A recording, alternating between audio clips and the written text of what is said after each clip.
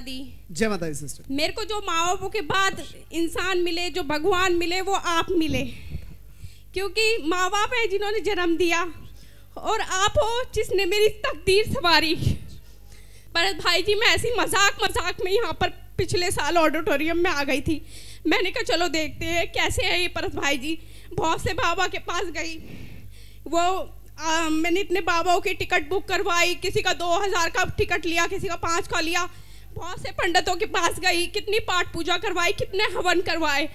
पर मुझे कभी भी कोई शांति नहीं मिली, कभी मेरा काम नहीं बना, जो आपके सिर्फ़ एक समागम में, ऐसी मैं मज़ाक मज़ाक में आ गई।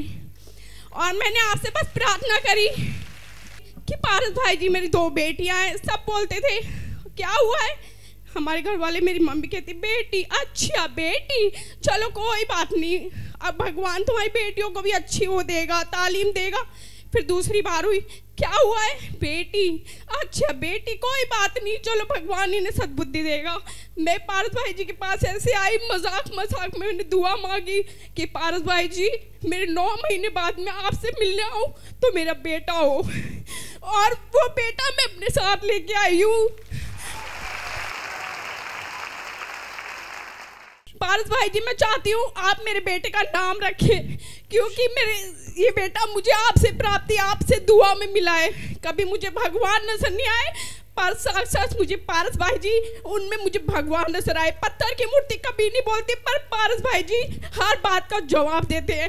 एक कुंडली ने मेरी ज़िंदगी संवार दी, और मैं अपनी ज़िंदगी खुद चलाती हूँ। मैं अपनी बेटियों को पालती हूँ। मैं सब कुछ मैं ही करती हूँ। सिर्फ़ किसकी कृपा से? पारस भाई जी की कृपा से।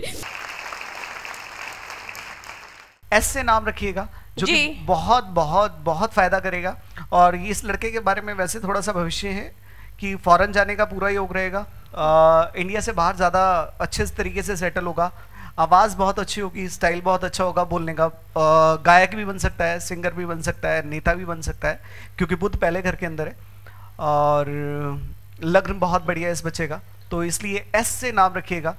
और आने वाला समय बहुत बेहतर होगा इस बच्चे के लिए। जय माता दी।